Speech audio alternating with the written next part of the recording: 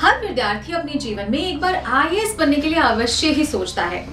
इस पद से जुड़े सम्मान, सामाजिक प्रतिष्ठा तथा शक्तियाँ इतनी ज़्यादा हैं कि सभी लोग अपने जीवन में कभी न कभी आईएएस बनने का सपना ज़रूर देख लेते हैं। ये भारत की सबसे बड़ी सरकारी नौकरी है, जो हर व्यक्ति के जीवन को कहीं न कहीं प्रभावित ज़रूर करती है।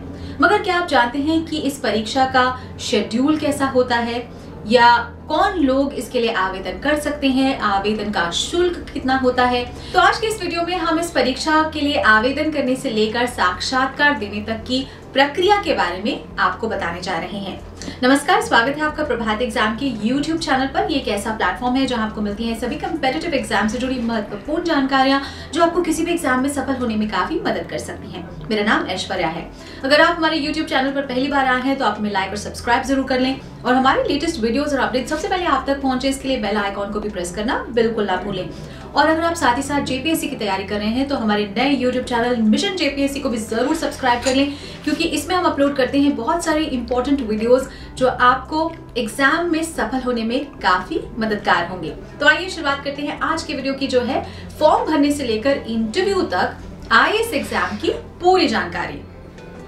तो सबसे पहला पॉइंट है, कब निकलती है सिविल सर्विसेज़ की नोटिफिकेशन तो हर साल यूपीएससी सिविल सर्विसेज़ परीक्षा के लिए सबसे पहले एक नोटिफिकेशन जारी करता है और इस नोटिफिकेशन में परीक्षा के इंपॉर्टेंट डेट्स एलिजिबिलिटी इत्यादि से संबंधित जानकारियाँ होती हैं। तो सामान्यतः यूपीएससी ये नोटिफिकेशन फरवरी महीने के आखिरी हफ़्ते में जारी करता है। आगे बढ़ने से पहले यूपीएससी की प्रीलिम्स परीक्षा में गारंटीड सक्सेस के लिए भारत का प्रसिद्ध पब्लिशर प्रभात प्रकाशन आपके लिए लाया है यूपीएससी 26 वर्षों के topic wise solved papers IAS doctor Manish Ranjan की इस बुक में है एक्सप्लेन आंसर्स और ट्रेंड एनालिसिस इसके साथ ही ज़रूर पढ़ें यूपीएससी सी सैट जिसमें है पेपर टू के 2011 से 2020 के सॉल्व पेपर्स ये दोनों बुक्स इंग्लिश में भी अवेलेबल हैं। आज ही ऑर्डर करें ऑनलाइन अमेजोन या फ्लिपकार्ट से और क्रैक करें यूपीएससी एग्ज़ाम तो नेक्स्ट पॉइंट इज़ क्या है आवेदन करने का तरीका और शुल्क?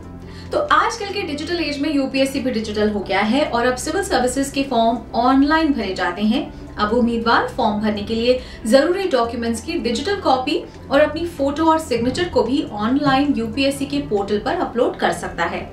ये प्रक्रिया मार्च के महीने में पूरी की जाती है और आवेदन के लिए उम्मीदवारों को करीब तीन सप्ताह का समय दिया जाता है। इस परीक्षा में महिला उम्मीदवारों, दिव्यांगों और एस सी वर्ग के उम्मीदवारों के लिए आवेदन की प्रक्रिया निःशुल्क होती है। नेक्स्ट इज़ गलत आवेदन भरने पर क्या होगा? तो यूपीएससी सिविल सर्विसेज़ परीक्षा के आवेदन में सुधार का मौका नहीं दिया जाता है। अगर आपके द्वारा दिए गए आवेदन में कोई गलती रह गई है और आप उसको सुधारना चाहते हैं तो आपको फिर से नया आवेदन करना होगा। अगर आप एक से ज़्यादा आवेदन कर रहे हैं तो आपके जिस आवेदन का रजिस्ट्रेशन नंबर यानी कि आर नंबर ज़्यादा होगा, उसे ही स्वीकार किया जाएगा। इसके अलावा अगर आपने पुराने आवेदन के लिए फ़ीस जमा कर दी है तो नए के लिए दोबारा जमा करनी होगी। पुरानी फ़ीस एडजस्ट नहीं की जाती और ना ही उसे वापस किया जाता है। तो अपना एप्लीकेशन फॉर्म बहुत ही सावधानी से भरें। तो नेक्स्ट इस परीक्षा में बैठने की योग्यता और नागरिकता। तो इस परीक्षा में भारतीय नागरिकों के साथ साथ तिब्बत के रिफ्यूजी नेपाल और भूटान के नागरिक भी शामिल हो सकते हैं। लेकिन आईएएस और आईपीएस में भर्ती के लिए अभ्यर्थी को भारत का नागरिक होना अनिवार्य है। इस परीक्षा में भारतीय मूल के लोग जो अलग अलग देशों में हैं, वो भी शामिल हो सकते हैं। नेक्स्ट इज़ शैक्षिक योग्यता तो इस परीक्षा के लिए किसी भी मान्यता प्राप्त संस्थान से किसी भी विषय में ग्रेजुएट होना अनिवार्य है।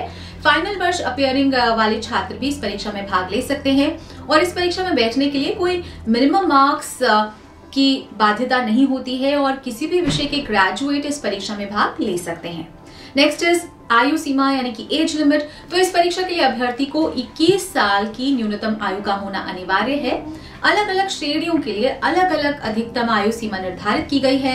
सामान्य श्रेणी के लिए 32 वर्ष, अन्य पिछड़ा वर्ग के लिए 35 वर्ष और एससी और एसटी के लिए सैंतीस वर्ष तक की आयु निर्धारित की गई है। विकलांग श्रेणी में और भी ज़्यादा छूट दी गई है और उनके लिए अधिकतम आयु सीमा बयालीस वर्ष निर्धारित की गई है। तो आयु की गणना विज्ञापित वर्ष की दिनांक एक अगस्त से की जाती है।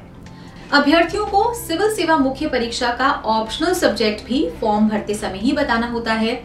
नोटिफिकेशन में 26 ऑप्शनल सब्जेक्ट्स की सूची में से किसी भी एक का चुनाव करना होता है और फॉर्म में अंकित करना होता है। फॉर्म भरते समय उन्हें परीक्षा का माध्यम भी बताना होता है। फॉर्म भरते समय उन्हें अपनी पसंद की सर्विसेज़ को क्रमवार बताना होता है और साथ ही साथ उन्हें अपनी पसंद के राज्यों की सूची भी क्रमबद्ध रूप में देनी होती है कि वो कहाँ कहाँ सर्विस करना पसंद करेंगे। और सिलेक्शन हो जाने पर इसी क्रम और रैंक के आधार पर उन्हें सर्विस और कार्डर आवंटित किए जाते हैं। Next point is number of attempt तो इस परीक्षा में हर श्रेणी के अभ्यर्थियों के लिए अटेम्प्ट निर्धारित किए गए हैं। तो अटेम्प्ट का मतलब है कि किसी भी श्रेणी के अभ्यर्थी इस परीक्षा में कितनी बार शामिल हो सकते हैं। तो सामान्य श्रेणी के लिए सिक्स अटेम्प्ट यानी कि छह अटेम्प्ट निर्धारित हैं और अन्य पिछड़ा वर्ग के लिए नाइन अटेम्प्ट यानी कि नौ अटेम्प्ट और एस सी के लिए कोई सीमा नहीं है। यहाँ ध्यान देने वाली बात यह है कि यूपीएससी सिर्फ़ फॉर्म भरने को अटेम्प्ट नहीं मानता, बल्कि प्रारंभिक परीक्षा के किसी भी एक पेपर में सम्मिलित होने को अटेम्प्ट माना जाता है। नेक्स्ट इस परीक्षा का पैटर्न तो यूपीएससी इस परीक्षा को दो चरणों में आयोजित करता है। पहला चरण है प्रारंभिक परीक्षा और दूसरा चरण है मुख्य परीक्षा। मुख्य परीक्षा के दो भाग होते हैं। पहला प्रमुख लिखित परीक्षा तथा दूसरा इंटरव्यू चरण। पहले चरण को प्रारंभिक परीक्षा कहते हैं और इसके मार्क्स फाइनल मेरिट में नहीं जोड़े जाते। ये क्वालिफाइंग पेपर होता है और मुख्य परीक्षा के दोनों भागों में अर्जित मार्क्स के आधार पर फाइनल मेरिट लिस्ट बनती है। प्रारंभिक परीक्षा ऑब्जेक्टिव टाइप की होती है, जिसमें हर सवाल के चार ऑप्शंस होते हैं और उम्मीदवारों को उनमें से सही जवाब का चयन करना होता है। और इस परीक्षा में नेगेटिव मार्किंग भी होती है। ये परीक्षा मई जून के महीने में आयोजित की जाती है और इसके परिणाम अगस्त में घोषित किए जाते हैं।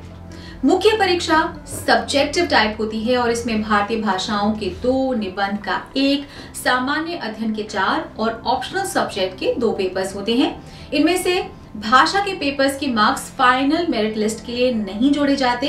ये परीक्षा नवंबर दिसंबर के महीने में आयोजित की जाती है और इसके परिणाम फेब्रुवरी में घोषित किए जाते हैं। तो मुख्य परीक्षा में क्वालिफाई करने के बाद उम्मीदवार को इंटरव्यू के लिए दिल्ली बुलाया जाता है। यहाँ उनका साक्षात्कार यूपीएससी के बोर्ड मेंबर्स द्वारा लिया जाता है।